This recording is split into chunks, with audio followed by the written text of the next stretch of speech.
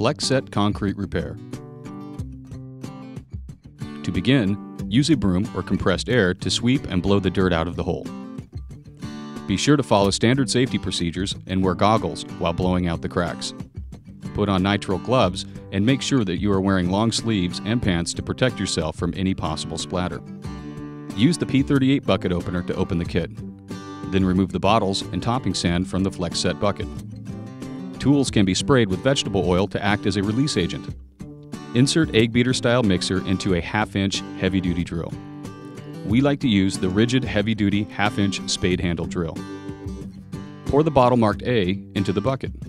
Pour slowly so not to splash. Mix the A side until the sand is completely wet. In temperatures below 55 degrees, add the 1 ounce bottle of catalyst to the B bottle and shake. This will allow the FlexSet to set up more quickly in cold weather. However, today's repair will not require the catalyst. Shake the B bottle for 30 seconds.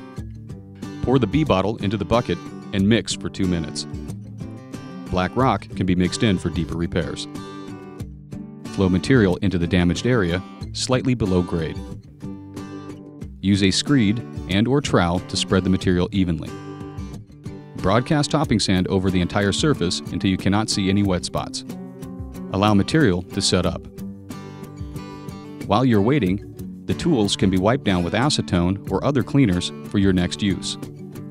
When set, remove excess sand and your repair is ready for traffic.